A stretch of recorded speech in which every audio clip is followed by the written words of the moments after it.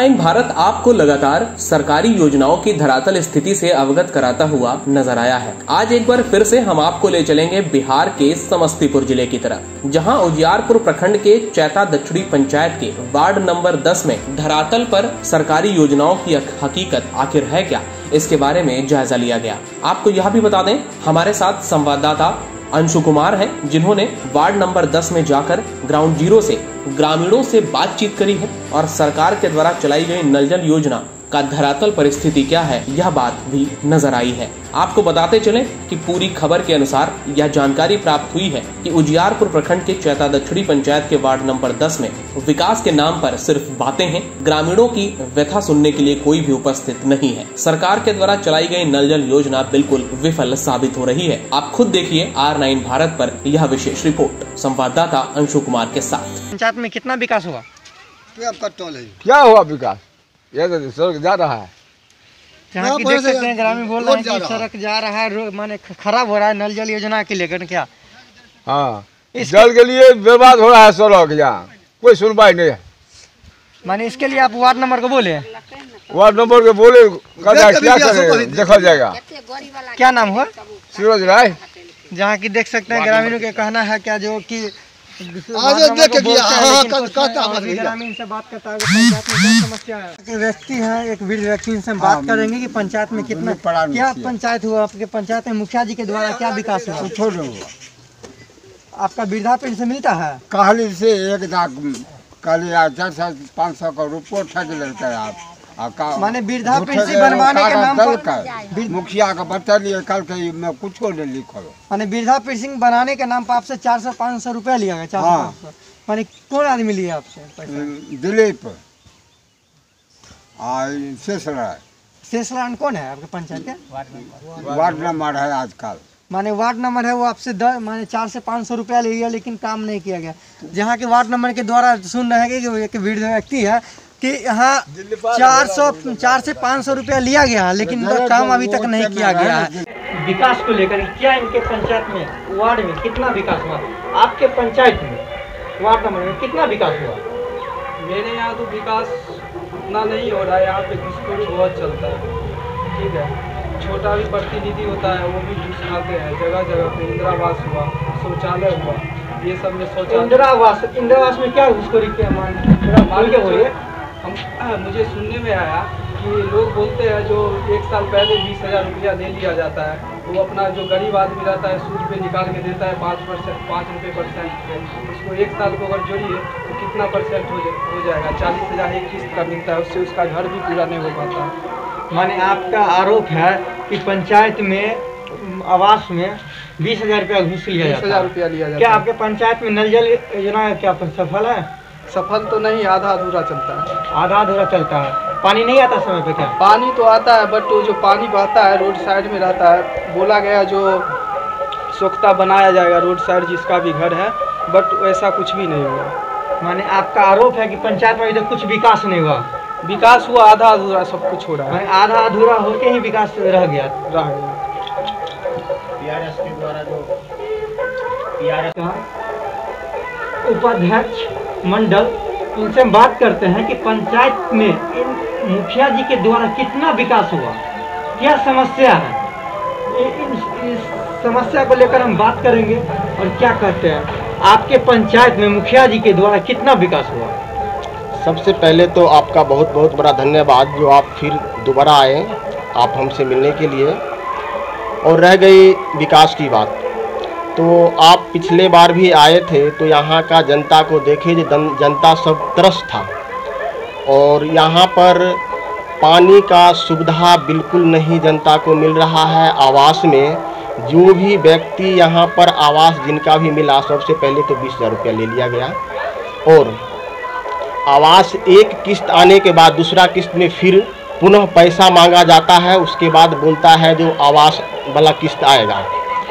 और कुछ आदमी है जो बोले क्या जो हमसे बीस हज़ार रुपया पहले ही ले लिए और बीस हज़ार रुपया बचवे किया तो उसमें हम क्या करेंगे? हम्म वह व्यक्ति नहीं बना पाया। उसके लिए वहाँ से जाँच आया वीडियो साहब के द्वारा जो आप लोग अगर यह आवास नहीं बनाते हैं तो आप लोग को पैसा रिकवरी देना होगा और रिकवरी अगर नहीं दीजिएगा तो आपके ऊपर कानून कार्रवाई होगा। तो जनता सब बोले जब हम कहाँ से कैसे बनाएँ? बीस हज़ार रुपया में कैसे बनेगा? ईटा भी है पंद्रह हज़ार रुपये टेलर है। हम्म, बीस हज़ार रुपया हमसे पहले ले लिया गया। तो सभी जनता सब पहले यहाँ से त्रस्त है। उसके बाद आ गया शौचालय का मैटर। शौचालय में सभी आदमी से दो दो हज़ार रुपया लिया हुआ साल डेढ़ साल दो साल हो गया। जो शौचालय अभी तक वह व्यक्ति को नहीं मिला है जो पैसा दिया हुआ है, बोला पैसा नहीं देगा तो परमेंट ही नहीं होगा। तो इसलिए बोला क्या, चलो भाई, दो हज़ार रुपया ले रहा है, दे देते हैं तो परमेंट कम से कम आ जाएगा। कुछ ऐसा गरीब आदमी है जो किसी से कर्जा कर कर कर दिया, पाँच रुपये सकरा पर लेकर। वह व्यक्ति सबको अभी तक में पाँच हज़ार रुपया हो गया है ब्याज जोड़कर और वह व्यक्ति सब त्रस्त है। कहते हैं, जहाँ तहाँ बोलते हैं, जो हमको नहीं मिला है शौचालय, और यहाँ पर व्यवस्था भी खूब उतना बढ़िया नहीं है, कहाँ जाएँगे शौच करने के लिए, इस तरह का इसमें समस्या चल रहा है। उसके बाद, रह गई बात जो नल जल का जहाँ तहाँ पाइप टूटा हुआ है, और पाइप टूटने के बाद रोड पूरा बहकर रोड खराब है। गाड़ी, मोटरसाइकिल और जाने के बाद तो कीचड़ उड़ कर पड़ता है पूरा कपड़ा पर। उसको देखने के लिए एक भी आदमी नहीं है, कई बार वार्ड नंबर से बोला गया जो हमारे वार्ड का, वार्ड नंबर 10 का, वार्ड नंबर शेष नारायण है, जो तीन जगह पाइप फटा हुआ है, उस पाइप को कई बार कहा गया, एक बार भी नहीं सुना, उनको तो सिर्फ़ कमीशन से मतलब है। कमीशन मिला, हो गया, जनता को कुछ भी हो रहा है, कोई मतलब नहीं है। और इसके बाद रह गई बात जो सोसाइटी एक चल रहा था सोलह वाला सोसाइटी, उस सोसाइटी में चौदह लाख रुपया जो है ना, पूरा चैता दक्षिणी वार्ड नंबर दस का जनता का, उसमें चौदह लाख रुपया था। और सब वो गरीब था, दो चार पाँच गो जो है ना, सो था मतबर लोग, दमंग लोग उस सभ्यों को पहले ही एक लाख, डेढ़ लाख रुपया लोन के नाम पर देकर, आ उस सभ्यों को बोला जो जीवान को बंद करवा दिया। और बाकी गरीब लोग सभ्यों को सोसाइटी ही बंद कर दिया, और वो सब लोग कई जगह गुहार लगाया उसका कोई सुनने वाला नहीं है। सोसाइटी को गमन कर दिया और गमन किया हुआ दो साल हो गया। जी।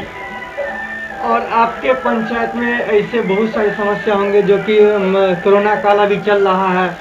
इस पर आपके पंचायत में मास्क वितरण हो जी कोरोना कोरोना काल के रीजन में पिछले साल भी ई दूसरा लॉकडाउन है। लॉकडाउन टू लॉकडाउन वन में सरकार के द्वारा आया गया जो वार्ड नंबर मुखिया, दोनों मिलकर मास्क, साबुन पूरा बांटेंगे।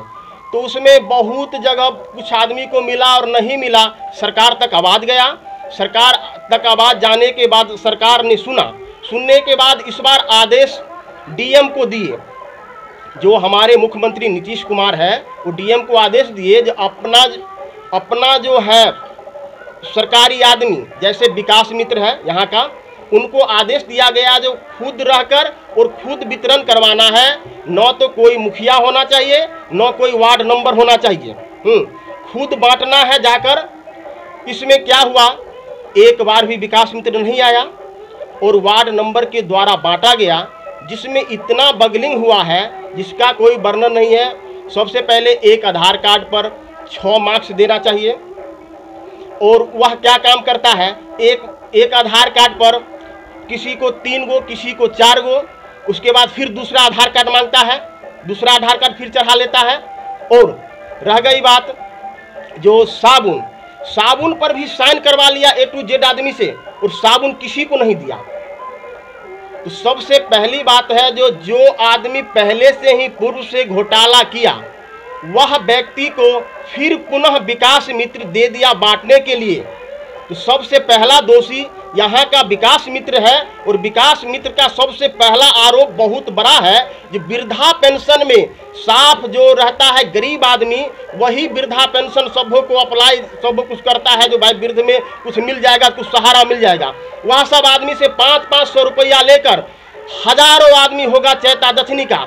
और उसका सब वो आदमी को अभी तक वृद्धा पेंशन दिलवाने का विकास मित्र काम नहीं किया है। इतना भ्रष्ट विकास मित्र है उतना ही भ्रष्ट वार्ड नंबर है और वार्ड नंबर और विकास मित्र दोनों मिला हुआ है और यहाँ पर जो है ना वार्ड नंबर से गलत करवाता है जो भी है। क्या नाम है सर आपका? मेरा नाम हुआ जितेंद्र राय मेरा घर हुआ चैता दक्षिणी वार्ड नंबर दस। जहाँ की देख सकते हैं कि यहाँ के एक बीजेपी का उपाध्यक्ष मंडल, जो कि पंचायत के हैं, और इनको द्वारा पूरे, पूरी तरह लग रहा है कि पंचायत में सिर्फ़ कागज़ पर ही विकास हुआ है, धरातल पर नहीं। आर नाइन भारत के लिए अंशु कुमार, समस्तीपुर, बिहार।